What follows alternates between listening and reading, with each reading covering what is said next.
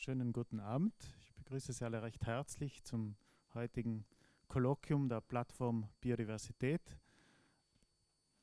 Ähm, ja, ich darf also die Plattform Biodiversität zuerst noch äh, ein paar Worte dazu. Ist ein, eine Plattform, äh, wo verschiedene Akteure und Institutionen im Bereich der Biodiversität äh, sich äh, irgendwo zusammengeschlossen ähm, haben und ähm, die ist noch im Begriff äh, zu wachsen und wir hoffen, dass wir noch weitere Akteure und auch Vereine dazu kriegen. Und als wichtigste Veranstaltung von dieser Plattform gibt es einmal im Monat das Kolloquium, wo eigentlich äh, wissenschaftliche Inhalte vermittelt werden äh, und das sowohl die breite Bevölkerung als auch die, äh, verschiedene Personen oder Institutionen oder auch Wissenschaftler WissenschaftlerInnen ansprechen soll. Und heute äh, darf ich den Georg äh, Niedrist begrüßen, meistens geschrieben Georg H. Niedrist. Äh, das H hat, hat eine einfache Bewandtnis. Äh, der Name Georg Niedrist ist zwar all, allgemein vielleicht nicht der allerhäufigste, aber wir, wir haben leider zwar Georg Niedrist in der äh, zwei Südtiroler Wissenschaftler mit dem Namen Georg Niedrist und der zweite, der äh, sitzt in der EURAC und dann kommt es regelmäßig zu Verwechslungen, auch bei Publikationen.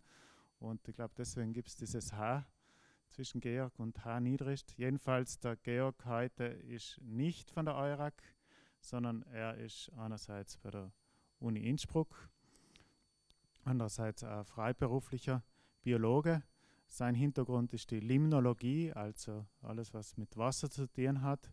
Und äh, ja, dieses Projekt hat er im, in Zusammenarbeit mit dem Naturmuseum durchgeführt. Und zwar ist das Projekt finanziert vom Fonds der Südtiroler Landesmuseen.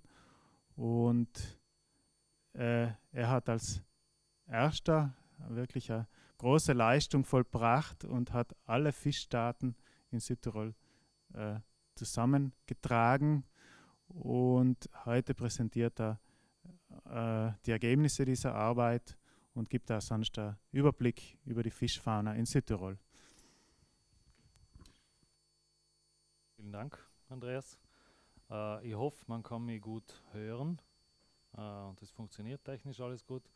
Äh, also willkommen an alle da hier im Raum im Naturmuseum und äh, herzliches Willkommen auch an die Leute zu Hause, die über den YouTube-Kanal den Vortrag verfolgen dürfen. Ich finde es generell eine super Sache, dass es diese Möglichkeit gibt und dass das Naturmuseum da Energie investiert und, äh, und einfach probiert, die Wissenschaft nach außen zu tragen. Auch wenn es jetzt gerade zur Zeit einmal schwierig ist, ähm, sich zu versammeln. Ähm, ja, danke auch für die Einleitung. Also das Projekt habe ich als Selbstständiger äh, begonnen, zusammen mit dem Naturmuseum, oder eben, wir haben mich beim Naturmuseum beworben äh, für die Ausarbeitung des Projektes. Und ich sehe hier äh, viele Interessierte. Ich weiß zwar nicht, wie sie bei den letzten Vorträgen waren, aber es sind einige Interessierte da. Und ähm, generell äh, vermute ich, dass, dass viele Interessierte verschiedene, verschiedenster Interessensgruppen auch von daheim zuschauen, weil ich einfach glaube, dass Fische so ein anschauliches äh, sind anschauliche Tiere und die interessieren gleich mal ein paar Leute. Einerseits äh, ist zum Beispiel die Politik verpflichtet, die Gewässer zu schützen. Es gibt mehrere Regularien. Dann gibt es natürlich die große Menge der Fischer, die ja einfach äh, ziemlich oft am Gewässer sein und, und auch interessiert sein, wie schaut es denn generell aus oder wie schaut es denn mit bestimmten interessanten Arten aus. Dann gibt es die Naturinteressierten, die natürlich da einen Einblick kriegen, weil das Gewässer eben kein offensichtlicher Lebensraum ist oder die Fauna in den Gewässern ja etwas versteckt lebt. Ich meine, die Fische sind was Großes und, und Greifbares, aber generell sind die Gewässer einfach ein bisschen eine Blackbox, wo man einfach einmal reinschauen muss mit speziellen Methoden. Der generelle ähm, oder die generellen Bedingungen weltweit sein, dass wir uns eigentlich in einem Zeitalter der großen Beschleunigung äh, befinden. Man kann das so bezeichnen.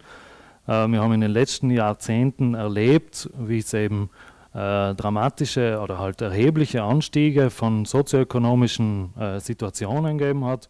Zum Beispiel das Populationswachstum, also jetzt global gesehen. Damit steigt der Energiebedarf ähnlich schnell an. Da die Energieerzeugung, auch mittels Wasserkraft, steigt drastisch an.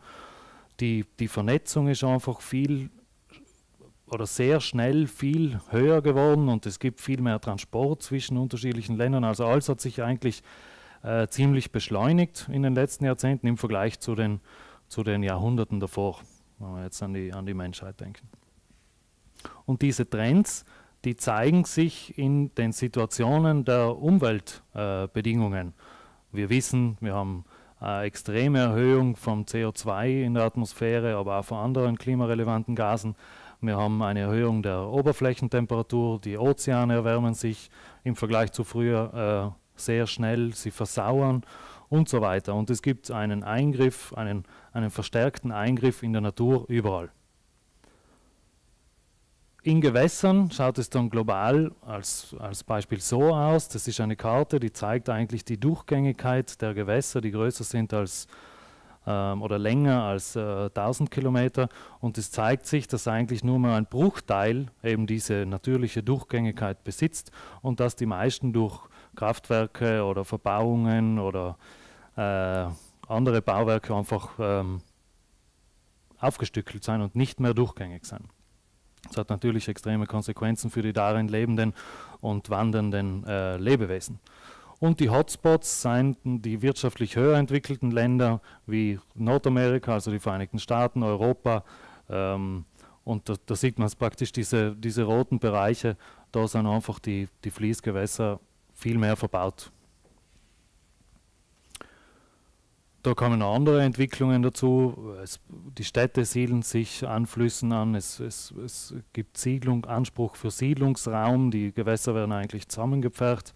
Ähm, durch alles, was der Mensch so macht, wird global gesehen einfach auch Gewässer intensiv verschmutzt. Muss nicht überall so sein, aber es gibt eben viele Gewässer, wo es eben verschmutzt wird. Sie werden begradigt, sie werden kanalisiert, sie werden an den Rand gedrückt und sie müssen einfach der Menschheit oder der, der, der, der, der steigenden Populationsdichte der Menschen einfach weichen. Aus sicherheitstechnischen Gründen und so weiter. Dann haben wir noch als anderen globalen Hintergrund äh, die ähm, Klimakrise natürlich. Also da sehen wir oben links diese Grafik, die eigentlich zeigt, wie jetzt im Verhältnis zu der, zu der Referenzperiode äh, die Temperaturen auf der Erde sich schon erwärmt haben im Schnitt. Und wir sehen auch, oder wir wissen es auch, dass die letzten Jahre eigentlich äh, viele Rekorde geschlagen haben. Also 2016, 2017, 2018, 2019 äh, waren unter die, den sechs wärmsten Jahren bisher. Das heißt, da ähm, passiert eigentlich viel. Und man hat da identifiziert, dass es gewisse Hotspots gibt und dort zählt der mediterrane Raum äh, dazu. Also wir werden das hautnah erfahren, nicht nur unsere äh, Kinder und Enkel und, und Enkelskinder, sondern auch wir. Also das passiert schneller wie erwartet, ähnlich wie diese Graphen, die wir vorher gesehen haben. Also diese extreme Beschleunigung erfahren wir eigentlich. Und es, äh, diese Grafik rechts oben zeigt aber Entschuldigung, wie, wie das ist beim Gletscherschwund, das ist ein Beispiel, der Gletscher, die Gletscher gehen zurück, das wissen wir alle, und das ist auch beim Gletscherschwund immer, also Jahrzehnte, da sehen wir jetzt das von, von rechts nach links, die Zeitreihe, dass es in jedem Jahrzehnt wieder neue Rekorde gibt des Gletscherschwundes bei aufgezeichneten ähm, Gletscherbilanzen. Und was auch immer mehr passieren wird, das ist dann abhängig von Region, dass einfach Gewässer immer wieder oder vermehrt äh, trocken fallen werden, zumindest zeitweise. Das sind Auswirkungen des Klimawandels, die äh, ziemlich gut äh, vorhersagbar sind. Und zudem ist Temperatur, steigende Temperatur und in dem Fall Wassertemperatur eigentlich ein Türöffner für invasive Arten und äh, Krankheiten, die natürlich auch ähm, die Fische, weil es heute um Fische geht, die Fische äh, beeinflussen.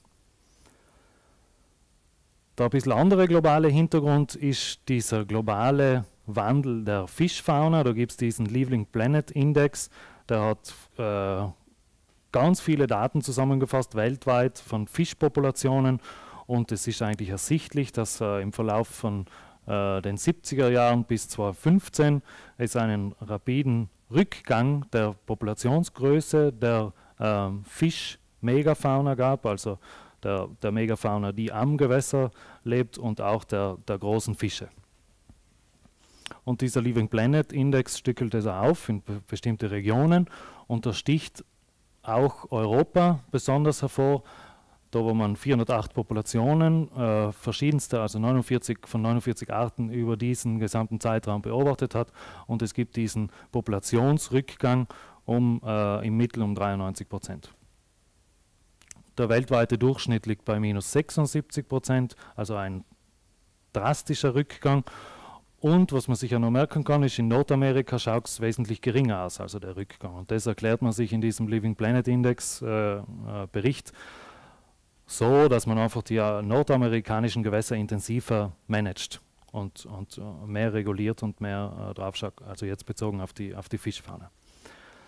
Dieser Bericht identifiziert auch die größten ähm, Treiber dieses, dieser Populationsabnahmen. Äh, da haben wir Habitatverlust, Habitatveränderung, Habitatdegradierung, Verbauung, äh, Verschmutzung, invasive Arten und äh, die Klima, klimatische Veränderungen also auf der ich ja vorher eingegangen bin. Der Alpenraum, wenn wir jetzt weg vom Globalen gehen, der Alpenraum äh, ist ein bisschen eine sondere, eine besondere Ökoregion, einfach dadurch, dass sie andere, äh, ein bisschen andere Bedingungen hat.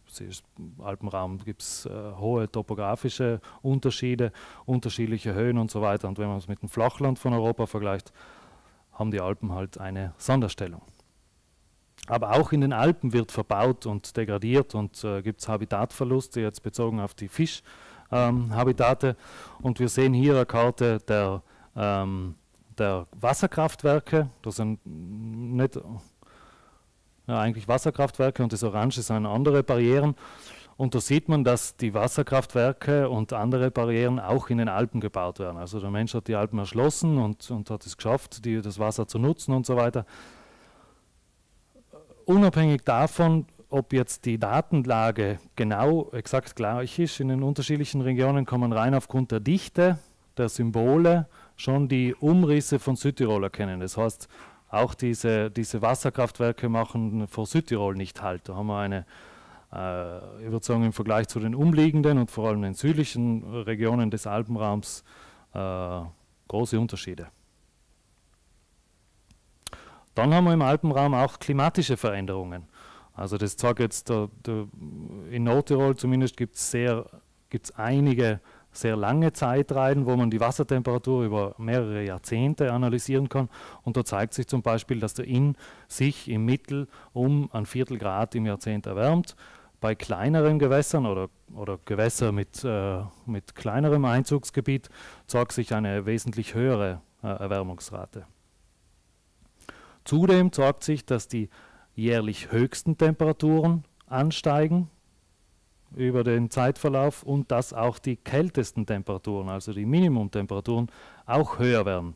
Das heißt, im Winter äh, ist der Inn nicht mehr um die 0 Grad, sondern jetzt schon äh, 1 bis 1,5 Grad wärmer. Also erreicht nicht mehr diese tiefen Temperaturen, äh, die er gehabt. Und eine kritische Größe, da kommen wir danach noch dran, das sind diese 15 Grad.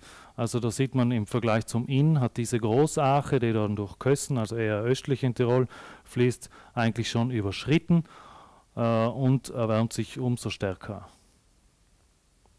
Dazu kommt noch, dass die Erwärmung irgendwie natürlich im Sommer passiert, wo die heißesten Lufttemperaturen sind, aber eben auch im Winter. Also da sind die, die die monatlichen Raten aufgetragen, also die, die Unterschiede der Allerjäner-Temperaturen über diesen Zeitverlauf der letzten ähm, 40 Jahre.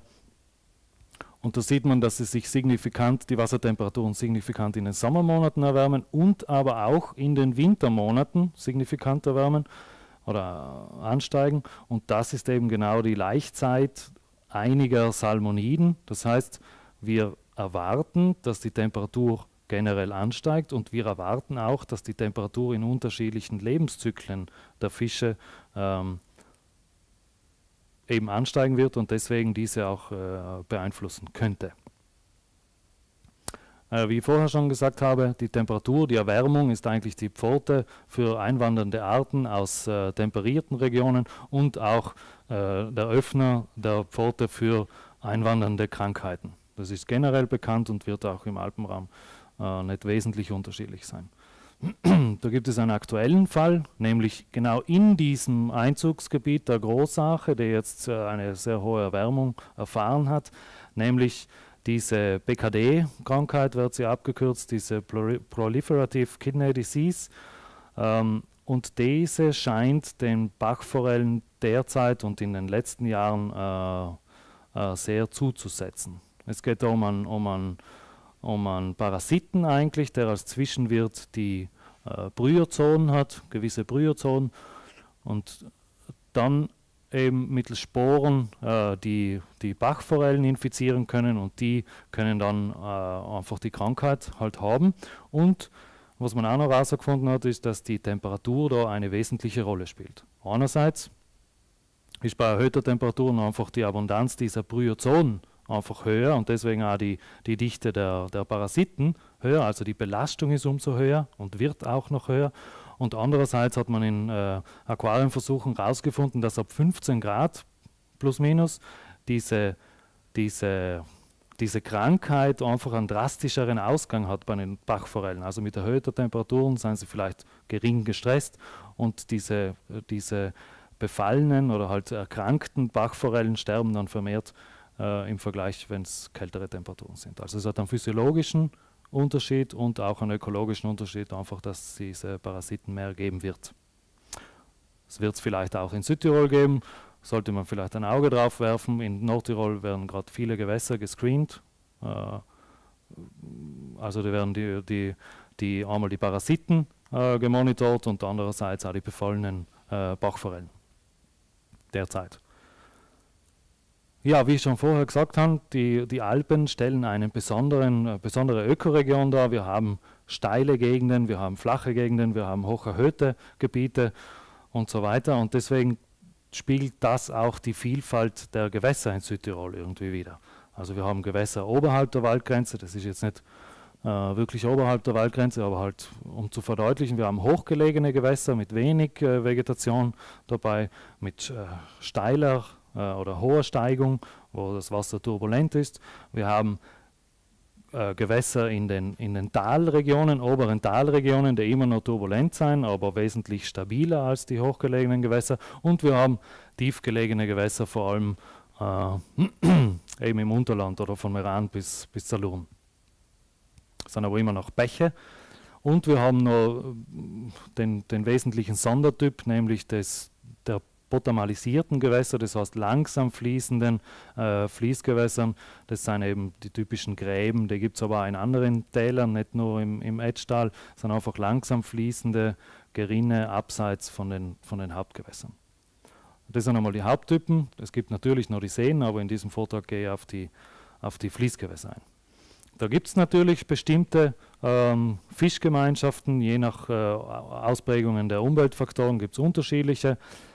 Ähm, und man weiß, welche Arten mehr oder weniger wo vorkommen, aber man hat noch niemals mit diesen quantitativen Daten das äh, über das ganze Land gesehen ausgewertet. Also das Ziel dieses Projekts war, den Status der Fische in Südtirol aufzuarbeiten und auch die Veränderungen, weil wir jetzt schon eine gewisse Zeitspanne äh, äh, über eine gewisse Zeitspanne Daten zur Verfügung haben. Und gleichzeitig interessiert natürlich im, im globalen Kontext dieses Einwandern von invasiven Arten.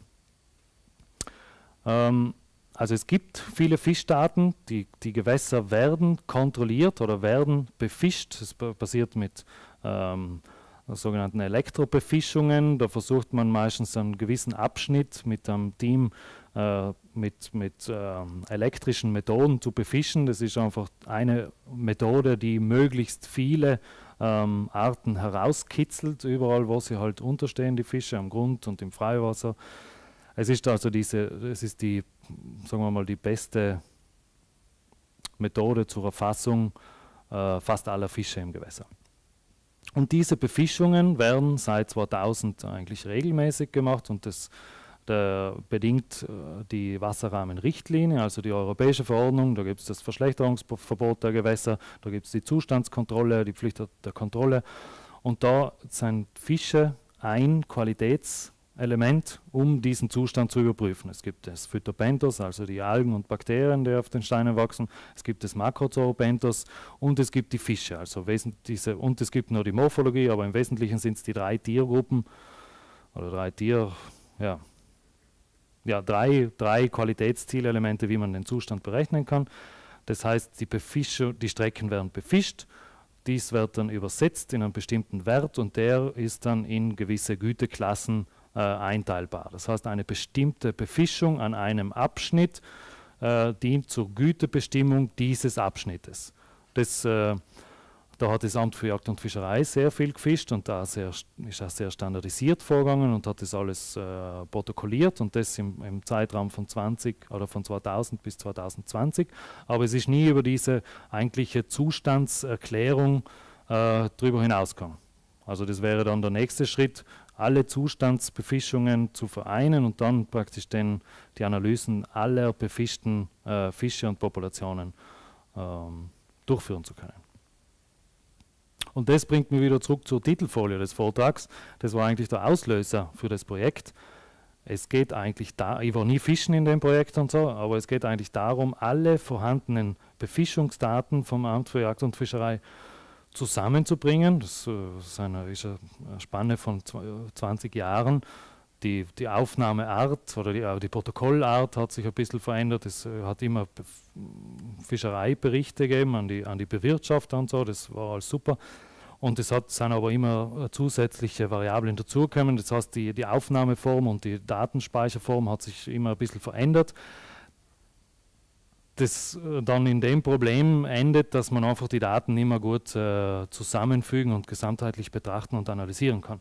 Und das war eigentlich das, ähm, die meiste Arbeit in diesem Projekt. Also es geht um einen ein Datenprojekt sozusagen.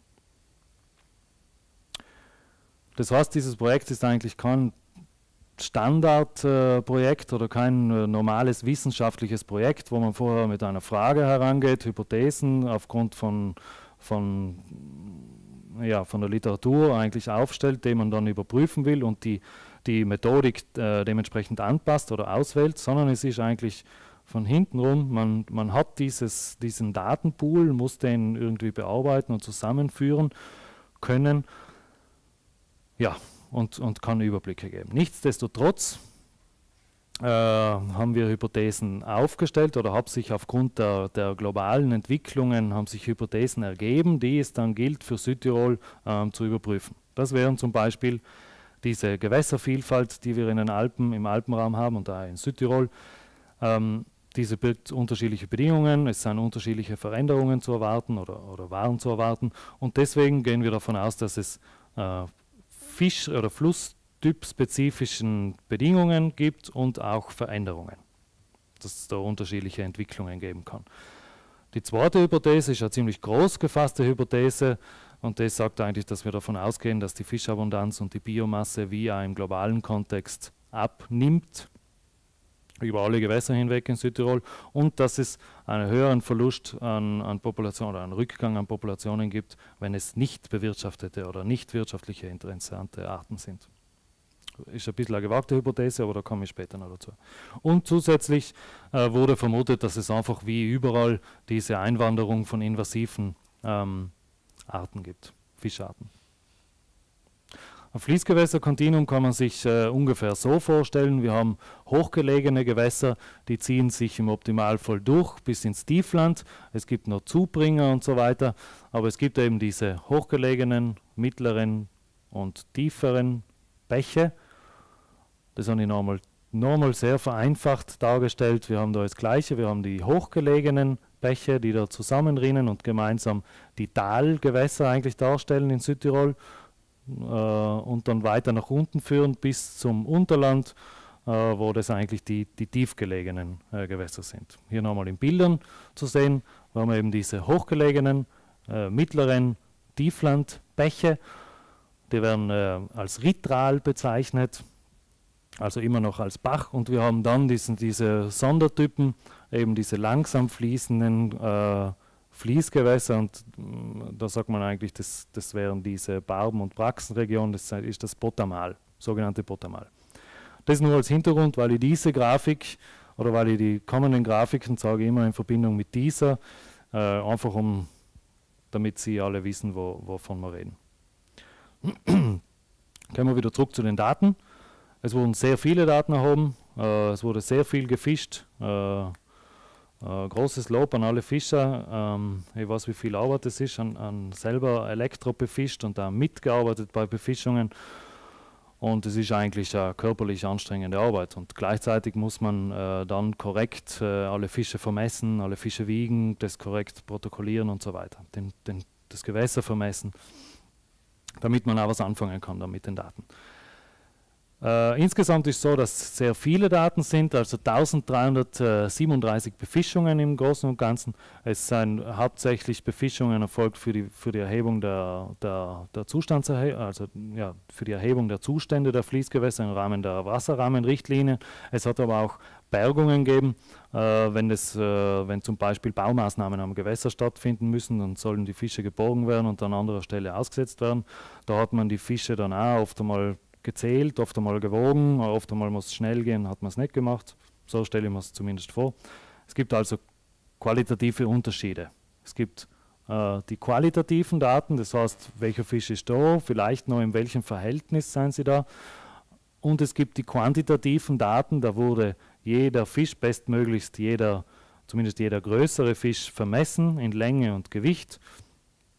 Und oft einmal wurde, wurden mehrere kleine Fische zusammengefasst, aber es wurde immer äh, gezählt und gewogen. Das ist der, der wesentliche Unterschied. Dann äh, als Vergleich gibt es da die, die Anzahl der Befischungen im Alpha-Projekt. Da hat es auch nicht wenige Befischungen gegeben, aber da sieht man halt den Unterschied, was das Ganze äh, für einen Datenpool jetzt mittlerweile eigentlich ist.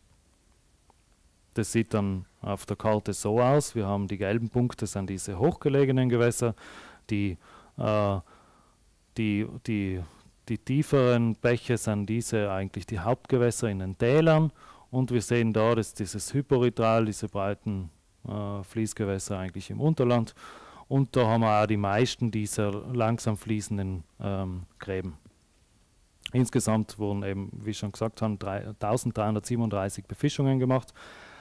Da wurden äh, 4893 Populationen erhoben und insgesamt hat man knapp 64.000 Fische mh, ich bin mir gerade nicht sicher, ob man es in der Hand gehabt hat, jeden, oder, aber nahezu wahrscheinlich. Und man hat diese äh, Fülle an Fischarten gefunden. Äh, das sind jetzt nicht, ist jetzt nicht wirklich wichtig, dass man sich die alle durchlässt, aber man hat äh, der derzeitige Stand, obwohl diese taxonomischen Feinheiten noch nicht äh, abgestimmt sind. Es gibt da in der Fischfauna immer wieder Veränderungen. Wer heißt wie, wer gehört wo dazu. Äh, aber man hat 38 Fischarten, man hat diese unterschiedlichen Gruppen, also die Zypriniden, die Barschartigen und die, die Salmoniden, die wesentliche, und noch, und noch andere Ordnungen oder Familien. Ähm, oft einmal bei so Vorträgen frage ich mich immer, was sind so saloppe Aussagen. Nicht? Und da würde eine Frage zum Beispiel an Sie ins Publikum gehen. Was meinen Sie, ist der häufigst befischte Fisch ähm, in Südtirol? Quer durchrufen. Ich löse es eh bald auf. Die Forelle. Wildkoppe, sehr gute Antwort. Aber es ist äh, wirklich die Bachforelle. Also eigentlich muss man sagen, man kann es nicht wirklich sagen, weil das ja immer davon abhängt, wo befische ich und wo befische ich in welchen Gewässern vielleicht ein bisschen mehr, als wie ähm, Gewässer in Südtirol vorhanden sind. Aber man hat äh, im Wesentlichen in Relation zur Verfügbarkeit der Gewässertypen auch befischt. Also es gibt viel mehr Befischungen im Eperitral, weil es auch viel mehr eperitrale Gewässer gibt in Südtirol. Und eigentlich hat man festgestellt, am meisten war es die Bachforelle oder die Forelle eigentlich, äh, die gefunden worden ist. Also das sind nur die intern benutzten Kürzel und aber dann die Müllkoppe. Äh, an zweiter Stelle. Wenn man sich natürlich die Fischbiomasse anschaut, schaut es ein bisschen anders aus. Das sind eigentlich die Salmoniden, ähm, Arten einfach äh, äh, vorherrschend, einfach weil sie ein anderes, eine andere Körperform haben. Das ist die Bachforelle, die Esche, die Regenbogenforelle, die marmorierte Forelle und erst dann kommen die kleinen, äh, kleineren Arten. Im Wesentlichen kann man aber sagen, es gibt einige Arten, die den Großteil der Fisch Biomasse und äh, Individuendichte ausmachen oder Individuenzahlen ausmachen. Und es gibt ganz viele, die man gar nicht mehr lesen kann, die eigentlich kleinere Fischarten sind, die vielleicht auch auf, auf gewisse Teile von Südtirol beschränkt sind. Also da ist hauptsächlich das im Unterland und eigentlich die, die Zone von Meran bis, bis Salurn zu nennen. Das war jetzt eine Folie fürs, für so eine kurze Auflockerung. Wenn man sich das jetzt anschaut, entlang des Fließgewässerkontinuums, also in den unterschiedlichen äh, Fischregionen, dann sieht man, dass in den oberen äh, Fischregionen, also obere Forellenregion und untere Forellenregion, ähm, äh, eine hohe Individuendichte und hohe Biomasse, relativ hohe Biomasse, alles in allem herrscht, und dass diese Individuendichte und Biomassedichte eigentlich in den größeren Talgewässern abnimmt oder wesentlich geringer ist und dann aber viel höher in diesen grabenartigen Gewässern ist. Also dieser, dieser Unterschied zwischen oberen Forellenregionen und den Talgewässern äh, kann man vielleicht so erklären, dass einfach die, die Fläche der Gewässer komplett unterschiedlich ist. Also oben haben wir enge Gewässer, unten haben wir breite, äh, breite Bäche.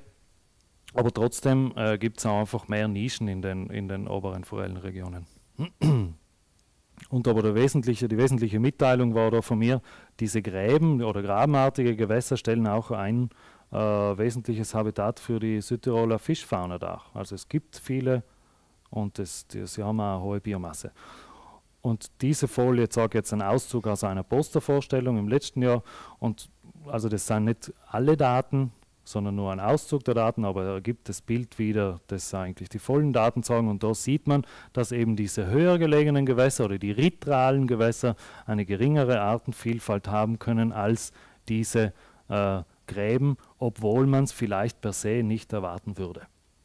Das hängt dann auch mit, dem, mit der, der, der Geschichte dieser Gewässer zusammen. Also es hat eigentlich einmal ein, ein riesiges äh, Auengewässer gegeben in diesen Bereichen, wo jetzt die Gräben sind. Derzeit fließen sie eigentlich hauptsächlich durch, durch landwirtschaftliche äh, Flächen.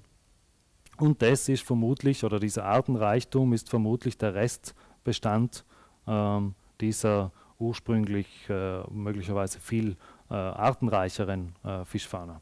Also da reden wir jetzt über mehrere oder über lange Zeit, sagen wir es so. Na gut, jetzt haben wir diese, diese Fülle an Daten über das ganze Land verteilt, die Befischungen und können erstmals gesamtheitlich mit Zahlen rechnen, also mit, mit wirklichen Biomassezahlen, Abundanzzahlen, also Dichten, es geht ja immer um, um Dichten, Individuendichten und Biomassedichten der unterschiedlichen Gewässertypen oder auch allen zusammen. Man kann sich gewisse Kennwerte ausrechnen. Was man natürlich auch kann, also ich nehme jetzt da die Mühlkoppe als Beispiel, weil es ein, ein, interessanter Fisch ist, ein, ein in, den, in der Fauna-Flora-Habitatrichtlinie geführter äh, schutzwürdiger Fischart. Man kann natürlich auch die, die Präsenz der Arten äh, visualisieren, um da vielleicht äh, Verbreitungsgrenzen eben äh, zu setzen, aber das, das konnte man bisher auch. Der wesentliche Schritt dieses Projektes ist es eigentlich, dass man diese quantitativen Daten nutzen will. Und da nutzt man eigentlich Standorte, die im Laufe der 20 Jahre öfter befischt wurden. Also äh, fast exakt die gleichen Standorte wurden öfter befischt und da versucht man jetzt Entwicklungen rauszusehen, ob es eine positive Entwicklung oder eine negative oder gleichbleibende Entwicklung der Art am selben äh, Standort äh, gegeben hat. Da sieht man jetzt, es gibt äh, diese Befischungen, diese mehrmaligen Befischungen am selben Standort gibt es über das ganze Land verteilt, sind nicht so viele wie alle Befischungen natürlich. Man sieht auch die, die Länge der Zeitreihen sind unterschiedlich, das hängt halt davon ab, wann halt angefangen worden ist und wann man das zweite Mal da äh, befischt hat. Das war jetzt äh, auch spontan, äh, glaube ich, der Fall, aber man hat es nicht so wie das Biodiversitätsmonitoring, dass man versucht, strikt äh, zu bleiben, sondern das hat sich teilweise auch so ergeben. Und die schwarz eingerahmten äh, Standorte zeigen eigentlich die Standorte, die innerhalb der letzten fünf Jahre nochmals befischt wurden. Also das das heißt, wir haben da einen eher rezenten Trend, den wir von diesen Standorten rauslesen können. Und der ist auch mehr oder weniger über das ganze Jahr, über das ganze Land verteilt. Diese äh, Barplots zeigen eigentlich die, die Anzahl der Standorte äh, und die Anzahl der Befischungen an diesen Standorten. Also das zeigt eigentlich, wir haben die, die meisten Standorte wurden zweimal befischt oder sagen wir mal nur zweimal. Äh, wir haben da über 70 äh, Stellen. Äh, dann haben wir wesentlich weniger, aber auch immerhin einige wurden schon bereits dreimal befischt und noch weniger viermal und ganz wenige fünfmal. Also da sieht man äh, den Datenstand äh, mit äh, Ende letzten Jahres. Und das äh, verändert sich natürlich, äh, je länger das betrieben wird. In den nächsten Folien werde ich so Graphen zeigen, die, die sehr äh, linienlastig sind, also sind viele Linien und so weiter. Und da jetzt gerade als Einführung sage ich ein Beispiel, damit wir ähm, über das Gleiche reden oder, oder, oder denken. Also nehmen wir an, wir haben einen Standort da, der wurde öfters befischt, äh, entlang oder während der von, zwischen 2000 und 2020. Wir haben da in diesem Fall im Optimalfall fünf Befischungen und wir wollen jetzt ermitteln, hat es Unterschiede zwischen diesen Befischungen gegeben und da ist eigentlich, wenn es jetzt, vor allem wenn es so wenig Datenpunkte sind, die plausibelste Methode, eine lineare Regression durchzulegen und daraus, aus dieser Steigung, die, jährliche Steig die mittlere jährliche Steigung zu extrahieren, dass wir einen vergleichbaren Wert haben pro äh, Standort äh, und äh, zwischen unterschiedlichen Befischungslängen und, und, und Phasen, wann halt äh, befischt wurde. Also diesen, diese jährliche Steigung, Zunahme, Abnahme oder eben äh, nichts. Also das ist die, die jährliche Steigung. Es gibt dann einen anderen Fall. Wir haben gesehen, die meisten Befischungen haben zweimal pro gleichem Standort stattgefunden. Da ist es einfach die simple Verbindung dieser zwei äh, Situationen. Aber auch hier lässt sich einfach die jährliche Zuwachs- oder Abnahmerate äh, extrahieren. Und das haben wir dann für alle Standorte gemacht, alle und alle Fischarten, logischerweise. Kommen wir wieder zurück zur Koppe. Dort zeige ich jetzt das Beispiel auf. Also links unten sehen wir nochmal dieses theoretische Beispiel und eben rechts, das sind äh, viele verschiedene Linien. Äh, jede Linie äh, steht für einen gleichen Standort und verknüpft Befischungen unterschiedlicher Zeiträume am gleichen Standort. Das heißt, wenn die Linie aufwärts geht, ist ein positiver Trend, wenn die Linie runter geht, ein negativer Trend. Ich habe den noch eingefärbt, also in verschiedene Farben. Die stehen dann für verschiedene Fischregionen. Das ist einmal erstmals nicht so wichtig. Aber es geht eigentlich um die, Relati na, um die Änderung am Standort, um die absolute äh, Individuendichte Änderung. Jetzt sehen wir natürlich, dass es verschiedene absolute äh, Werte gibt. Also wir haben da zum Beispiel das türkise Gewässer ganz oben, hat er eine sehr hohe Individuendichte an Mühlkoppen. Wir sehen das Violette, äh, erreicht auch hohe Individuendichten und wir haben ganz viele Gewässer, die eigentlich eine ziemlich geringe Individuendichte aufweisen. Und deswegen, um das zu vereinheitlichen, haben wir alles übersetzt in relative Änderungen, um einfach zu sehen, wie verändern sich die Standorte bezogen immer auf den äh, Referenzwert vom selben Standort in Prozent. Und aus diesen Linien oder aus diesen linearen Regressionen kann man eigentlich diese äh, jährliche Steigung oder äh, Zunahme oder Abnahme extrahieren und das stellt eigentlich dieses Diagramm in einem kleinen Diagramm dar. Wir haben da grüne Punkte, das steht für Zunahmen und wir haben rote Punkte, das steht für Standorte, wo es eben abnimmt, die Individuendichte. In diesem Fall ist die Biomasse äh, der Müllkoppe. Und wir erkennen, oder Sie erkennen, dass eigentlich viel mehr grüne Punkte da sind wie rote. Das heißt, an viel mehr Standorten hat es positive äh, Entwicklungen gegeben für die Müllkoppe im in Sinn von äh, Individuendichte und Biomasse und an einigen hat es natürlich auch negative Trends gegeben, aber an viel weniger Standorten.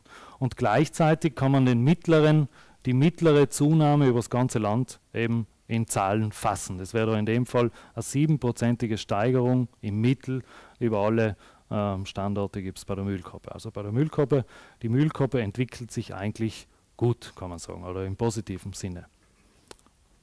Das äh, spielt sich auch in anderen alpinen äh, Lebensräumen oder es zeigt sich auch in anderen alpinen Lebensräumen. Die, die Mühlkoppe, die Habitatvoraussetzungen äh, sind eigentlich klares und nährstoffarmes und reichlich durchspültes äh, Wasser. Und die Müllkoppe äh, profitiert wahrscheinlich von der zunehmenden Sauberkeit der Gewässer. Also wenn man jetzt die letzten Jahrzehnte zurückdenkt, äh, Da sind viele Sachen passiert, äh, Kläranlagen und, und einfach Eindämmungen von Verschmutzungen und so weiter. Und die Müllkoppe profitiert einfach. Dann diese Punktewolke lässt sich dann noch aufstückeln in die unterschiedlichen Fischregionen, um eben möglicherweise Verschiebungen in den Fließgewässern äh, überhaupt äh, aufzeigen zu können. Und da bei der Mühlkoppe zeigt sich eigentlich, dass es in allen Fischregionen äh, ganzheitlich einen positiven Trend gibt. Das heißt, die Mühlkoppe profitiert eigentlich überall. Die Dichte ist besonders groß da, also die kommt einfach vermehrt in diesem Lebensraum vor, aber äh, bezogen auf alle Punkte haben wir einfach mehr eine grüne Steigung, jetzt sage ich so salopp, aber halt einen positiven, einen Zuwachs, die Population in Abundanz und auch in Biomasse, dort sage ich jetzt Biomasse, aber die Abundanzauswertung zeigt äh, genau das gleiche Bild. Jetzt sehen wir da natürlich eine Punktewolke, ist schön und gut und zusätzlich kann man äh, diese Punktewolke dann auch auf der Landkarte zeigen, um zu veranschaulichen, wo gibt es jetzt diese Zunahmen oder Abnahmen. Und wir, wir, also dieses Projekt und, und dann in weiterer Folge wahrscheinlich auch das Amt für Jagd und Fischerei kann das heranziehen, um einfach bestimmte äh, Bewirtschaftungsänderungen vielleicht zu, zu steuern in diesem Sinne. Und genau das, diese Daten, diese Situation oder diese Auswertemöglichkeit ist eigentlich notwendig, um die Hypothesen zu oder beantworten zu können, nämlich ob es unterschiedliche Entwicklungen in unterschiedlichen Fischregionen gab und ob es eben eine Zunahme, äh, in diesem Fall um zu überprüfen, ob es eine Abnahme in Abundanz und Biomasse für die verschiedenen Arten gab. Jetzt haben wir die Bachforelle da zum Beispiel. Das ist vorher genannt worden als äh, häufiger Fisch. Da sehen wir eigentlich auch insgesamt gesehen eine positive Entwicklung. Es gibt sehr viel mehr Gewässer, wo es auch negative Trends gibt. Äh, das können natürlich äh, vielerlei Ursachen haben, ist auch in diesem Projekt nicht ergründlich, was jetzt die Ursache war, aber es ist vermehrt positive Trends und über das gesamte Land kann man sagen, die Bachforelle äh, nimmt eigentlich zu. Und vor allem in der oberen Forellenregion, also da, wo sie auch eigentlich dazu passt oder zumindest in anderen Regionen auch diesen Lebensraum vermehrt einnimmt. Als nächste, als, als Gegenspieler eigentlich der Bachforelle, haben wir die marmorierte Forelle. Da schaut es im Wesentlichen so aus, dass der Datenstand schon einmal ein bisschen geringer ist, weil es ja weniger äh, Vorkommen hat, also an weniger Standorten anzutreffen ist und deshalb auch weniger mehrfach befischt worden ist. Und wir sehen, wenn wir jetzt auf die Biomasse schauen, einen neutralen Zustand. Es gibt viele Gewässer, die äh, zeigen einen bisschen positiven Trend, es gibt aber äh, viele Gewässer, die zeigen einen negativen Trend, teilweise gibt es Totalausfälle. Ähm, aber was auch auffällt, ist, dass diese Balken, wenn man jetzt diese bereits eher wenigen Datenpunkte auftrennt in, in verschiedene äh, Fischregionen, da, da, werden diese Datenpunkte umso geringer und dann ist diese Aussage einfach äh, weniger äh, greifbar oder weniger äh, solide. Dann gehen wir einen Schritt zurück, gehen wir auf die Abundanz, schauen wir uns die Abundanz dieser marmorierten Forelle an. Da gibt es wesentlich mehr Datenpunkte und es lässt sich dann sagen, ähm, insgesamt gibt es ähnlich einen, einen nahezu neutralen äh, Gesamttrend, aber es zeigt sich, dass die Individuendichte gesamtheitlich ein bisschen abnimmt.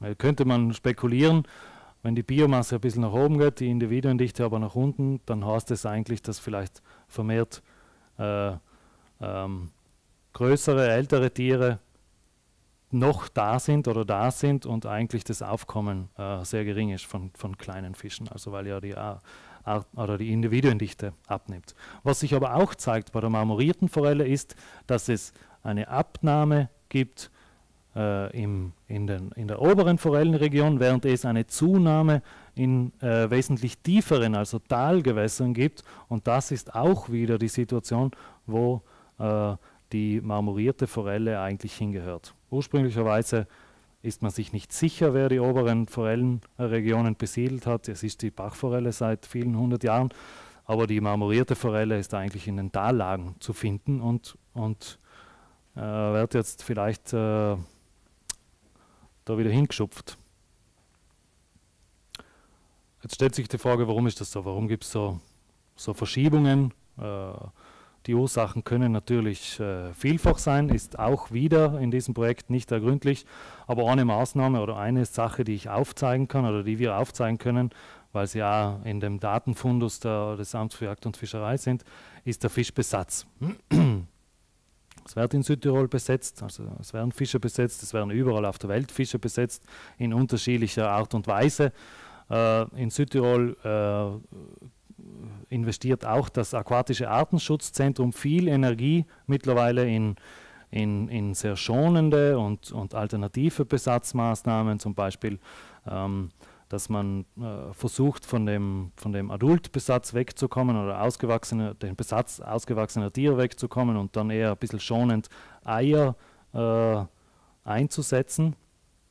Das hat einfach den Vorteil, dass sich die Individuen dann an diesen Lebensraum gewöhnen können und dass es nicht nur ein Besatz von äh, Fisch, äh, befischbaren äh, Individuen geht.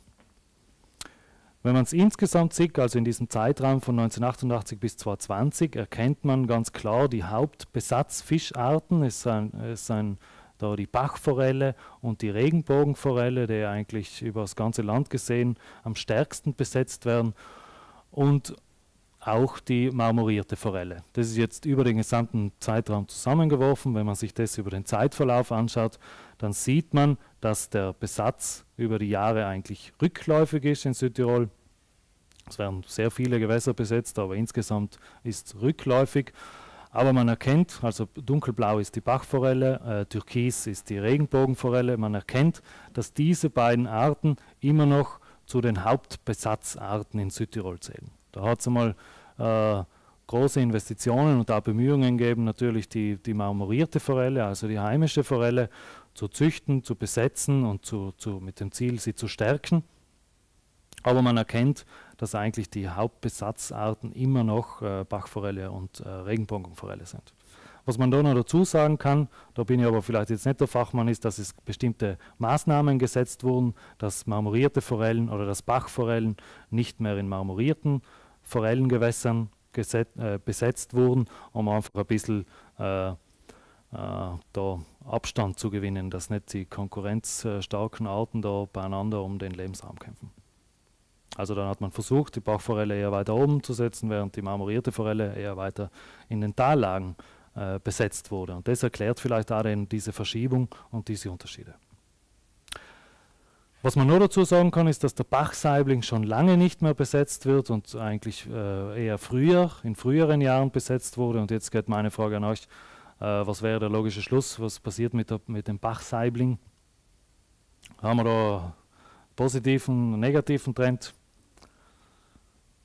Stark negativ, ja genau, Andreas. Also der Bachsaibling wurde äh, äh eingesetzt, ist gebietsfremd ähm, und es zeigt sich eigentlich über die Gewässer, wo er vorkommt und öfter befischt wurde, dass es eigentlich in fast allen Gewässern an, oder fast allen Standorten einen negativen Trend gibt, in allen Bachtypen oder Fischregionen. Das heißt, die Populationsgrößen vom Bachsaibling werden einfach kleiner. Bei der Regenbogenforelle, die nach wie vor besetzt wird, das haben wir auch gesehen, äh, zwar in gewissen Zonen nur mehr, oder äh, ja, auf jeden Fall nimmt da der Bestand zu, Mm, mit einer mit einem Schätzung von 7% pro Jahr. Und neben diesen Hauptarten, diesen, diesen großen Fischen, die man sich in, unter der Fischfauna eben auch vorstellt oder hauptsächlich vorstellt, gibt es auch diese verschiedenen Kleinfischarten. Da gibt es wunderbare Arbeiten in der Vergangenheit. Also der Simon Schwienbach hat da eine wunderbare Zusammenfassung geschrieben. Äh, dann Andreas Merana hat sich da beschäftigt mit den Kleinfischarten Südtirols. Und im Wesentlichen kann man sagen, das beschränkt sich auf dieses Gebiet, eben äh, das Etschtal das, äh, und da die, die, die, auf die Hauptgräben eben in Südtirol und das ist eben die, die, die Zone zwischen Meran und äh, Salurn. Und beim Stichling, beim dreistachligen Stichling, sollte eigentlich in Deutsch heißen, sehen wir eigentlich an fast allen Stellen, die öfter befischt wurden, einen äh, äh, positiven Trend. Das gleiche ist bei der Schleie. Dinka Dinka äh, kommt mehr oder weniger im gleichen äh, Gebiet vor, zumindest im, im, im räumlichen Gebiet, äh, in manchen Seen, wie wir da die, die einzelnen gelben Punkte noch sehen, oder Stauseen. Und wir sehen aber auch hier, also heimische Art, äh, die Schleie, eine Populationszunahme. das ist eigentlich alles sehr positiv und ich kann jetzt dort äh, noch oft weiterklicken und alle Fischarten eigentlich so beschreiben. Das wird noch passieren, also es wird noch einen, einen Steckbrief zu jeder Art geben. Jetzt für diesen Vortrag äh, sind hier alle Arten zusammengefasst mit derselben Methode, mit der, mit den, basierend auf den Befischungen. Äh, also hier sehen wir genau diese Punktewolken, die, die, die eigentlich die Steigungen, ob positiv oder negativ, äh, äh, sind darstellen. Und auf der Oberseite sehen wir die die, die relative Anzahl an Standorten, wo es eben einen positiven Trend gegeben hat, in, äh, gegenübergestellt zum negativen Trend und der geordnet von links nach rechts. Und da sehen wir eigentlich auf der rechten Seite, da gibt es Arten, die haben fast ausschließlich positive äh, Trends, hat man da gesehen in den, in den Befischungsdaten. Also man kann sagen, das sind die, die Gewinner und auf der gegenüberliegenden Seite gibt es nämlich die Verlierer, die in, in, viel mehr Standorten einen, einen viel stärkeren negativen Trend der Populationen aufgewiesen haben äh, wie die anderen. Die kann man sich da ausschreiben und wir haben äh, bei den Gewinnern die Regenbogenforelle, die Mühlkoppe, die wir gesehen haben, die eigentlich fast überall zunimmt, den Flussbarsch, der gemeine Sonnenbarsch, der dreistachelige Stichling, der Blaubandbärbling, das europäische Rotauge, der Giebel, die Schleie, die befinden sich eben alle an diesem, an diesem Ende, wo es eben viel mehr positive Trends oder viel mehr Standorte mit positiven Entwicklungen gegeben hat wie, wie negative. Und am Verliererende sieht man die Süd, äh, die Barbe, die Karausche, die marmorierte Forelle, die Eitel, den Karpfen, die Rotfeder, Laube und eben den Bachsaibling. Beim Bachsaibling haben wir ja gesehen, geht, geht stark zurück. Jetzt wird der eine oder die andere sagen, hoppla, da sind unter den Gewinnern sind Arten dabei, den will man gar nicht. Oder da, da weiß man, äh, sie seien zumindest äh, zu berücksichtigen in besonderer Weise. Das ist nämlich der Blaubandbärbling und der gemeine Sonnenbarsch werden als potenziell invasive Arten äh, angeführt, also unionsweit, europaweit. potenziell invasiv deshalb, weil er jetzt nicht aggressiv andere Fische stört, aber er frisst zum Beispiel auch, oder sie fressen zum Beispiel auch wie andere Arten auch andere Fischeier, äh, äh, können Standorte explosionsartig besiedeln und so weiter und stellen deshalb eigentlich eine Gefahr für die Fischfauna als Gesamtes dar. Wir sehen da im Kartenausschnitt, es handelt sich eigentlich wieder um dasselbe Gebiet, wie wir vorher schon gesagt haben, wo eigentlich die Kleinfischarten vorkommen, hauptsächlich in den Gräben. Der Sonnenbarsch hauptsächlich in den äh, Kalterer Gräben und der Blaubandbärbling in den anderen vielen Gräben, wo ich die Namen jetzt nicht äh, herzunehmen habe. Aber sie meiden sich mehr oder weniger. Sie kommen in unterschiedlichen Habitaten vor. Das äh, spielt wohl die Lebensraumansprüche wieder. Und wenn man sich alle Standorte ansieht, das hängt natürlich ab, wann man welche Standorte befischt, aber wir sehen insgesamt übers Land gesehen eine Zunahme beider Arten, vom gemeinen Sonnenbarsch und vom äh, Blaubandbärbling.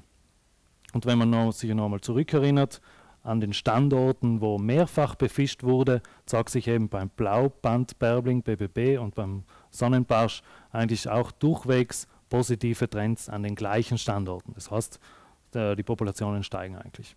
Oder die Individuendichte am Standort steigt.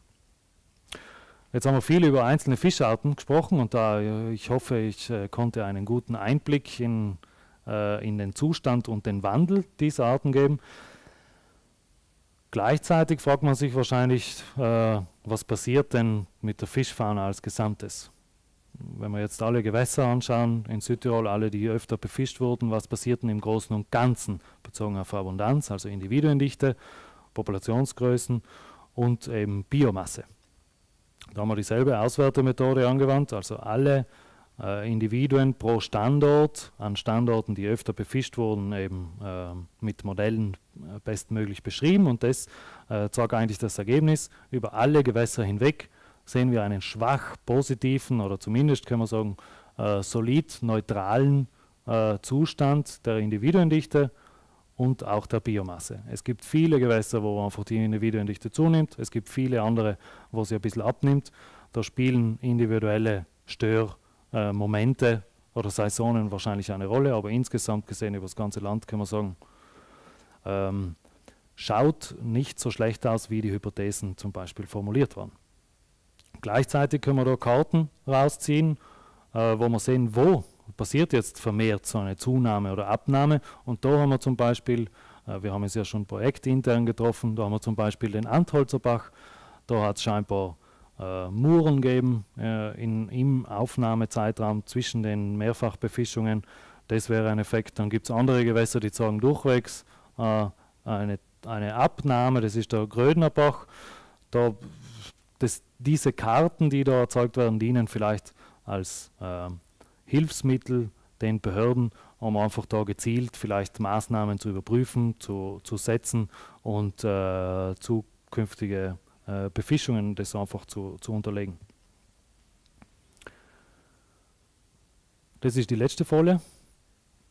Ähm, und zwar geht es ums Fazit. Äh, was ist die Antwort auf die Hypothesen oder wie, wie, wie was äh, die Überprüfung? Ähm, und zwar können wir sagen, es gibt Fischregion-typische äh, Unterschiede, einzelne Arten. Äh, das hängt damit zusammen, welche Bedingungen sie bevorzugt, diese Art, und wo sie sich eben befindet. Also wir haben gesehen, diese Verschiebung bei der marmorierten Forelle von hochgelegenen Gewässern, wo sie zeitweise auch mitbesetzt wurde zu eher tieferen Gewässern. Wir haben gesehen, dass die Fischabundanz und die Biomasse als Gesamtes eigentlich nicht so dramatisch abnimmt wie angenommen, wie im globalen Kontext. Wir haben festgestellt, dass man nicht sagen kann, dass eigentlich ein größerer, äh, eine größere Abnahme, eine stärkere Abnahme bei nicht bewirtschafteten Fischarten gibt. Da ist es vielleicht jetzt äh, das Fazit dieser, dieses Projekts sagt, man sollte vielleicht eher ganze Gewässer betrachten, wo bewirtschaftet wird und wo nicht oder wo besetzt wird und wo nicht und nicht auf die einzelnen Arten, die besetzt werden oder nicht, ähm, schauen. Und zusätzlich haben wir festgestellt, dass es eben diese Einwanderung in, in invasiver Fischarten gibt in bestimmten Regionen von Südtirol, aber dass die Populationszunahmen eben ähm, in den letzten 20 Jahren äh, stattfanden. Wir haben dann noch äh, mehr Hypothesen. Das Projekt ist noch nicht zu Ende. Äh, das wird noch überprüft, zum Beispiel der Einfluss von Besatz auf äh, bestimmte Arten oder Fischentnahme. Aber für mich oder insgesamt finde ich, ist das größte Ziel oder der größte Errungenschaft eigentlich, dass man dass das Projekt es geschafft hat, die Fischdaten, die, die, die vorhandenen Befischungsdaten zusammenzutragen, zu vereinheitlichen und für dieses Projekt und aber auch für alle kommenden Projekte, die mit Fischen arbeiten, äh, damit es zur Verfügung gestellt werden kann und diese gesamtheitlich über den gesamten Zeitraum und über das gesamte Land äh, analysiert werden können oder zumindest berücksichtigt werden können. Was passiert mit diesem Datensatz? Der landet einerseits, äh, ein Auszug aus dem Datensatz landet einerseits auf dem Flora-Fauna-Portal vom Naturmuseum. Da kann die Öffentlichkeit dann Einsicht nehmen in die Verbreitung verschiedener Fischarten. Äh, die, die Daten noch ein größerer Datensatz wird in der, in der Datenbank des Naturmuseums verwaltet oder halt zumindest gespeichert. Die Daten, dieser vereinheitlichte Datensatz geht zurück ans Amt für Jagd und Fischerei und es besteht der Vereinbarung, dass da in gewisser Weise in Zukunft protokolliert wird. Also es, es ist eh so passiert, aber es es kommen noch einige Sachen dazu, dass man jetzt ab jetzt vereinheitlicht oder in einer einheitlichen Weise das fortführt, um jährlich eben diesen Gesamtdatensatz mit kommenden Befischungen zu ergänzen. Andererseits wird es noch einen Steckbrief geben zu den bestimmten Arten. Es gibt super Steckbriefe über diese Verbreitungen und äh, autoökologische Informationen. Wir haben schon einmal den Simon Schwiedenbacher genannt und den Andreas Merana. Und in diesen Steckbriefen soll der Fokus auf diese quantitativen Daten gesetzt werden, dass man einmal schaut, was ist denn in diesen quantitativen Daten, was sind denn da für Aussagen drin. Und gleichzeitig ist der Datensatz eine Vorbereitung zur Ausformulierung oder zur Aktualisierung der roten Liste der Fische von Südtirol. Äh, mit diesem Ausblick äh, bedanke ich mich bei Ihnen zu Hause und beim Publikum und bin offen für alle Fragen.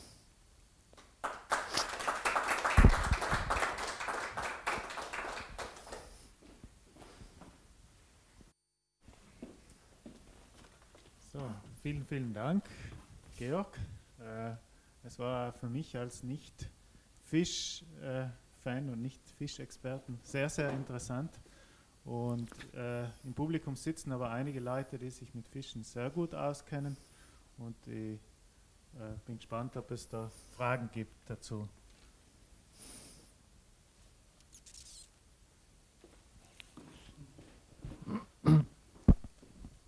Ich habe eine Frage. Haben ja dargestellt, dass in Europa und global gesehen die, äh, die, die Menge der Fische stark abnimmt und in Südtirol wesentlich weniger. Äh, wie kann man das erklären? Sind hier die Gewässer saurer oder, oder an was liegt das? Also eine Antwort ist vielleicht, der Alpenraum stellt eine Besonderheit dar. Wir befinden uns einerseits eher am Anfang von eines Fließgewässerverlaufs. Wenn wir jetzt Europa sehen, dann sind die Alpen diese, die Wassertürme Europas, werden sie genannt. Da startet da, da startet der Niederschlag und das Gewässer startet. Das heißt, wir haben noch nicht viel äh, Vorlauf, wo, wo Sachen passieren, sondern hier startet das Wasser. In anderen Regionen von Europa, die sind natürlich angewiesen auf das Wasser der Alpen.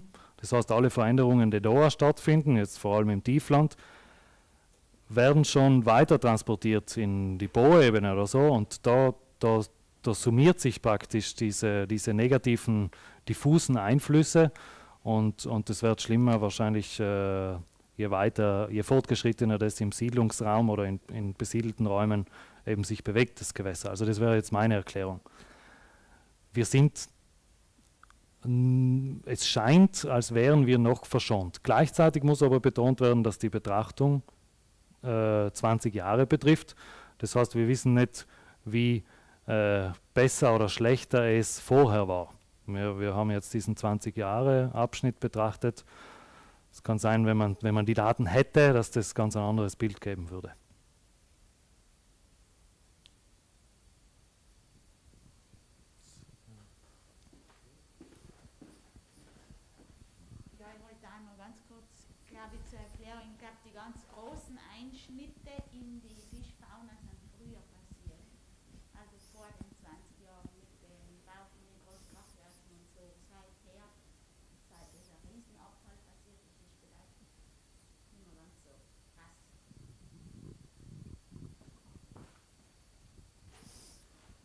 Ja, ich, ich würde das auch so sehen, wenn man die historischen Daten anschaut, zum Beispiel über die Artenvielfalt im Inn, früher und jetzt, dann sieht man, dass diese Veränderung schon einige Zeit zurückliegt. Mhm. Und vielleicht sind die europäischen oder die globalen Daten beziehen sich doch eher auf Artenvielfalt und weniger auf. Na, die, die, was Sie gesagt haben, waren schon Populationsgrößen beobachteter Arten. Man, es hängt dann natürlich auch davon ab, welche man beobachtet. Nein, es sind äh, Süßwasserfische, wandernde Süßwasserfische. Es gibt natürlich, die Vergangenheit bot äh, Möglichkeiten für manche Arten. Äh, zum Beispiel, wenn wir jetzt an die Nährstoffbelastung denken, dann haben vielleicht manche Arten auch profitiert von einer höheren Nährstoffverfügbarkeit. Ähm, also das ist vielleicht vorher noch einmal einen Peak gegeben hat, also mit der Verschmutzung vielleicht teilweise und dann eben diesen, diesen drastischen Abwärtstrend. Ja, aber das ist richtig. Die Betrachtung über die 20 Jahre zeigt einmal keine besorgniserregenden äh, Veränderungen, zumindest im Gesamten, für einige Arten ja, für andere Arten nicht. Aber was davor passiert ist, müsste man mit Referenzdaten anderer Gebiete, vielleicht äh, anderer alpiner Gebiete, äh, das vergleichen.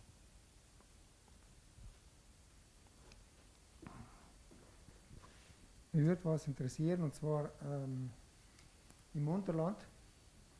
Also im Unterland sind in den letzten 30, 40 Jahren die, die kleinen ähm, Feuchtgebiete bzw. auch Kleingräben und so weiter verschwunden.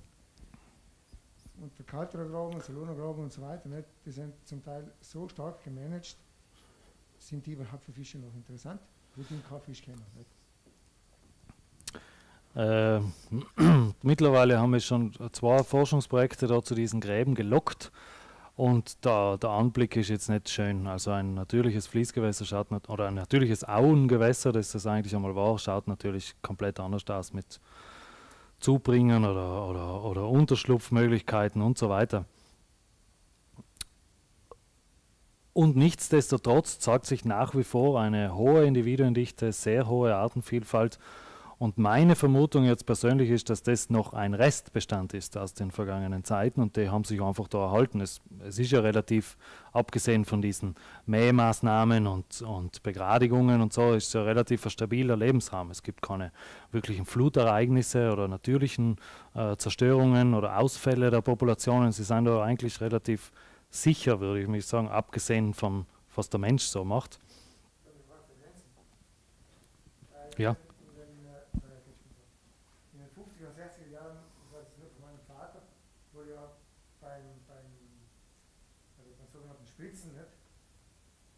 Sauger sind ja ganze Populationen aus, ausgestorben.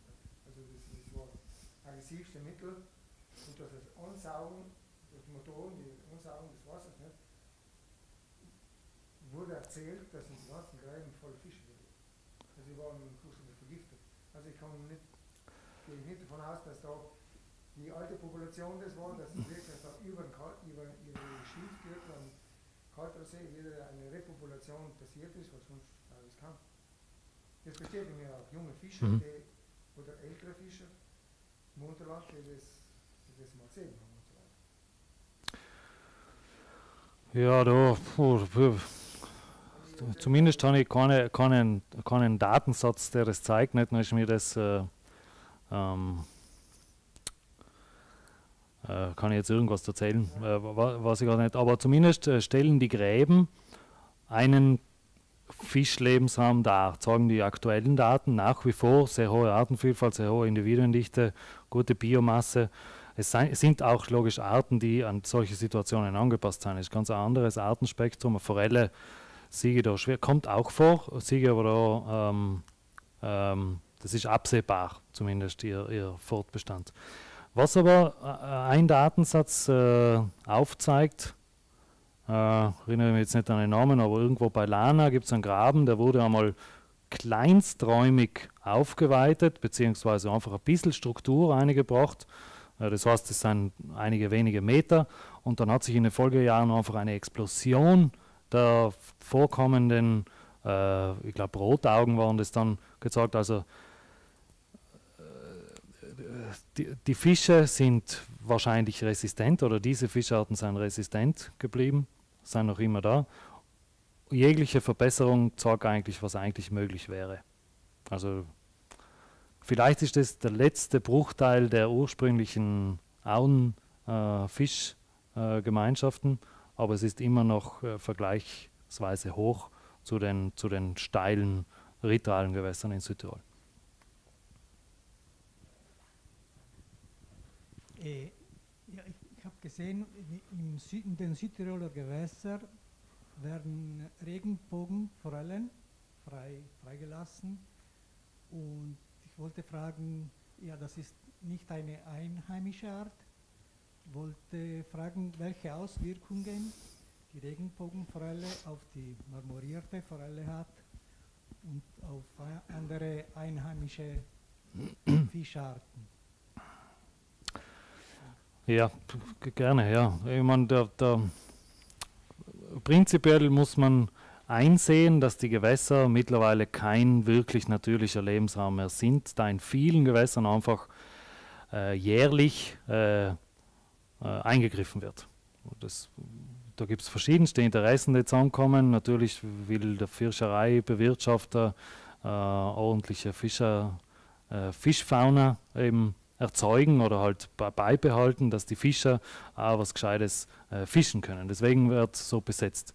Und in der Vergangenheit äh, hat man natürlich versucht, äh, konkurrenzstarke Arten oder besonders vielversprechende Arten zu besetzen, darunter eben der Bachsaibling, der zum Beispiel für Versauerung überhaupt keine Probleme zeigt, der einfach weniger Unterstände zum Beispiel braucht, also für verbaute Fließgewässer einfach ein geeigneter Besatzfisch ist, der gut wächst und gleich einmal ähm, ein bestimmtes, eine bestimmte Größe erreicht, um einfach einen guten Fisch für den Fischer oder die Fischerin einfach zu geben, dass einfach das, das Fischempfinden groß ist.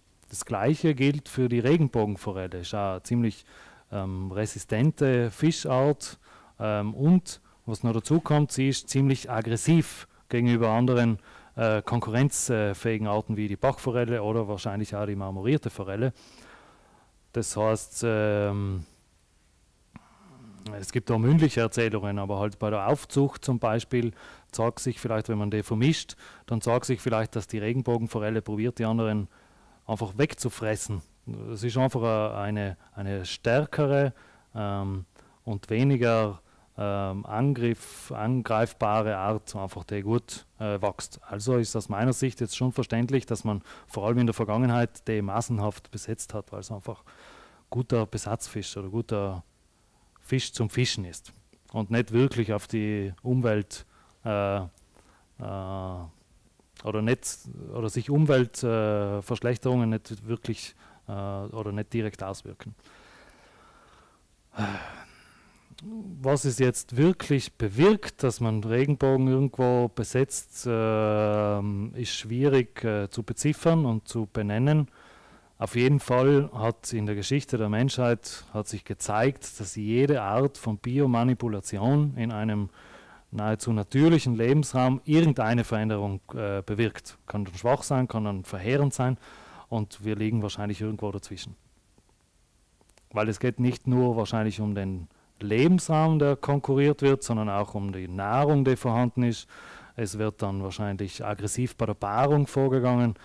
Äh, Unterstände äh, werden, ja, um, die, um Kleinstlebensräume wird wahrscheinlich gekämpft.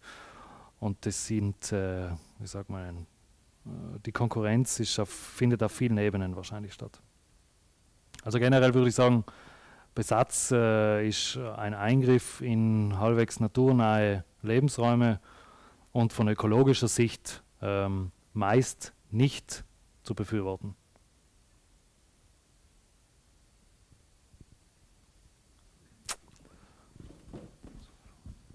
Ja, ich würde dazu auch gern was sagen. Wir, wir wissen, dass in bestimmten Gewässern, zum Beispiel am Inn jetzt die Esche gesetzt wird. Du hast erwähnt, dass man beim Besatz jetzt nicht mehr adulte Fische einsetzt, sondern das mit Fischeiern macht, damit sie sich an das Habitat anpassen mhm. können. Aber ich frage mich schon, man hat also den Bach Saibling, der wird nicht mehr besetzt als Alien Species, aber die Regenbogenforelle wird noch besetzt das ist, äh, ist für mich ein bisschen unverständlich, nicht? dass man mhm. äh, dann auch noch versucht hat, die marmorierte und die Regenbogenforelle zu besetzen, macht äh, aus meiner Sicht jetzt nicht sehr viel Sinn. Das stimmt. Kann ich noch antworten, Andreas, oder?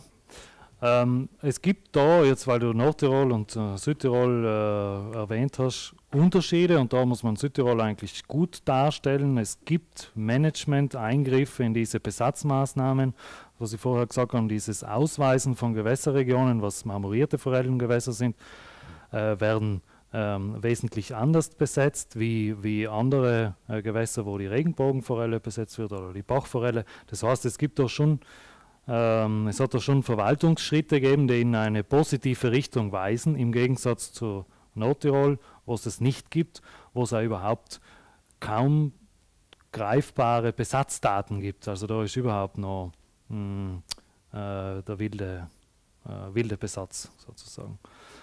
Aber auch die Bachforelle ist kein ursprünglich äh, heimische Art, wurde auch äh, äh, vor oder nach 1500 äh, eingeführt und, und äh, ist auch eine Konkurrenz für die Marmorierte natürlich.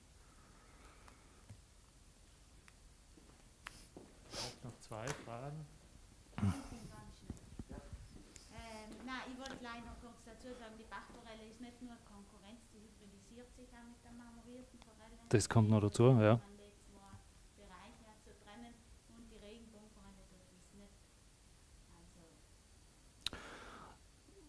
Das stimmt. Also, ja.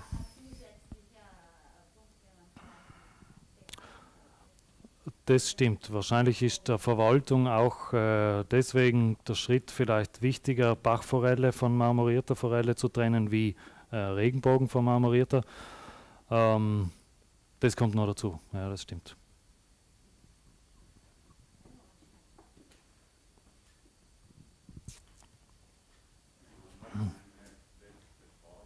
Und zwar äh, kennt man da den Einfluss von den Herbiziden auf die Fische, weil die Herbizide sollen ja Geschlechtsumwandlungen bei den Fischen verursachen. Gibt es da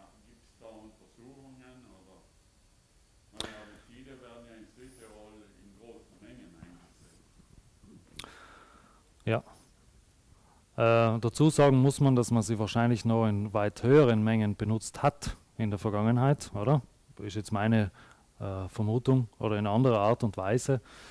Ähm, auf jeden Fall, äh, um zu versuchen, die Frage zu beantworten, es hat da dieses Alpha-Projekt gegeben, der hat verschiedenste Gewässer äh, befischt in ein oder zwei Jahren, in zwei Jahren waren es, und hat dann versucht, in, mit der Hülle oder mit der Fülle an Umweltvariablen diesen Effekt der, der, des, des potenziellen Herbizideintrags, also eigentlich ist es um die Landnutzung äh, gegangen in den unterschiedlichen Gewässern, um das irgendwie ähm, herauszufinden. Gleichzeitig hat man Untersuchungen gemacht äh, mit der Mühlkoppe, äh, wie wir sie da sehen, ob ähm, hormonell aktive Substanzen äh, ähm, gespeichert werden, erst einmal zumindest im, im, in, in der Leber und im, im Körpergewebe.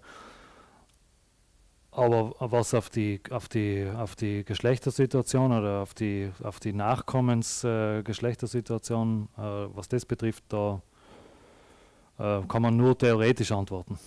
Also man weiß es von anderen Tiergruppen und übersetzt es dann wahrscheinlich auf die Fische. Aber ja.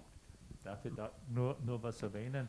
Also es gibt länger zurückliegende Untersuchungen, vor allem jetzt an Hochgebirgsseen, wo viel mehr von diesen hormonell aktiven Substanzen vorhanden sind, wegen dieser globalen Anreicherung.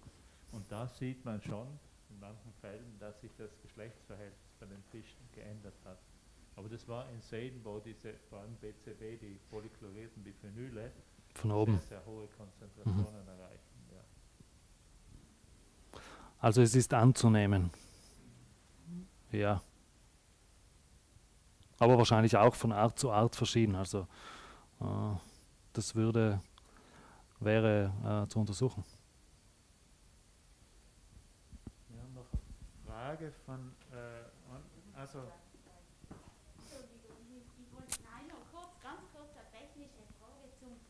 Ja. Und zwar bei der ähm, Zusammenfassung von den Punkten, die mehrmals befischt worden sind. Ist da wirklich immer genau der gleiche Punkt oder gibt es da auch Abweichungen? Hast du gesagt, da gibt es einen Radius innerhalb wie so viele Meter, ähm, gibt es noch als der gleiche Punkt? Ähm, es gibt einen Radius, also nehmen wir an, man hat irgendeine Stelle befischt 2002 und dann wieder 2016, da startet man nicht exakt am gleichen Punkt. Und was noch dazu kommt, ist, man lockt wahrscheinlich nicht die gleichen GPS-Daten ein, weil es einfach ein bisschen eine Variation gibt. Das heißt, die Punkte seien in einem Raum von, von 100 Metern zu finden, dieselben Standorte. Ja.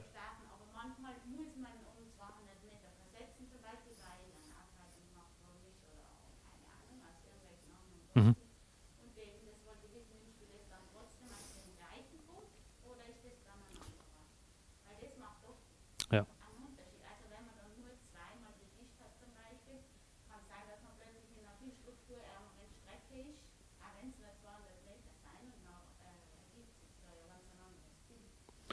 Also es wurde ein geringerer Radius benutzt, einfach um diese, um diese, um diese unterschiedlichen GPS-Punkte, jetzt sage ich es einfach, um diese Unterschiede in den GPS-Aufnahmen einfach auszugleichen. Aber der Radius ist nicht 300 Meter, der ist ein bisschen anders von Länge zu Breite, aber es, es ist so, so 50 zu 100 Meter maximal, wo das variiert. Einfach damit man einfach nicht die Gefahr hat, dass man selbe Befischungsstrecken rein aufgrund ein bisschen unterschiedlicher Positionierung von, von, vom Datensatz äh, verliert.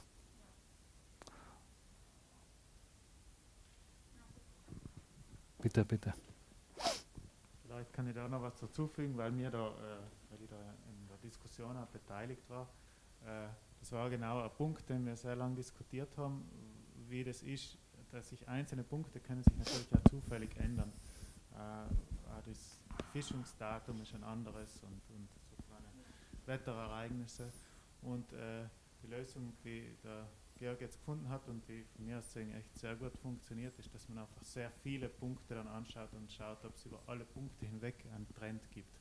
Und das ist mein, aus meiner Sicht dann wieder eine sehr, sehr gute Lösung. Ja, weil man, man verringert eigentlich den, die Verfälschung einzelner Events nicht? oder einzelner äh, Unstimmigkeiten. Wenn mal wirklich eine Fischpopulation ausgefallen ist, dann ist sie ausgefallen, aber im Großen und Ganzen ist das Bild, ähm, gibt es den, den Durchschnitt über Südtirols Gewässer wieder. War ein bisschen eine Tüftelei, ja. Wenn es eine wichtige, dringende Frage gibt, und sonst äh, würde mich ganz herzlich beim Referenten Georg Niedrist äh, bedanken. Und äh, ganz wichtig, wir treffen uns, oder wir nach den Kolloquien reservieren wir immer einen Tisch. Äh, normalerweise im Weißen Rössel, heute aber äh, haben wir dort keinen Platz gekriegt und wir sind im Nussbaumer. Und ich möchte alle Anwesenden herzlich einladen. Ich glaube, wir haben zehn Plätze, also es wird wahrscheinlich schon ausreichen. Wenn noch jemand schnell von daheim vom Computer äh, losstarten will und, und uns, sich zu uns gesellen möchte, sehr gerne. Ähm, noch ein Detail, diejenigen, die noch nicht die Newsletter bzw. die Einladungen der Kolloquien äh, per E-Mail erhalten, die Leute sehr herzlich ein, dieses Formular da auszufüllen, äh, damit wir äh, ihnen das in Zukunft auch zusenden können. Äh, und als allerletzten Punkt äh, möchte ich auf das äh, Januar-Kolloquium hinweisen. Das findet am 12. Jänner statt und es wird nächstes Monat einen botanischen Inhalt haben. Und zwar kommt der äh, Peter Schönswetter aus Innsbruck, der ist Botanikprofessor und der wird uns äh, ein bisschen über die Biogeografie der Alpen äh, die näher bringen, die ja in sehr, sehr vielen Studien, die zum Teil auch in Südtirol durchgeführt wurden, äh, genau untersucht hat. Äh, dazu aber mehr im, im, in der Newsletter und äh, allen Zusehern im Saal und auch allen Zusehern zu Hause einen herzlichen Dank für, äh, für, für die Aufmerksamkeit.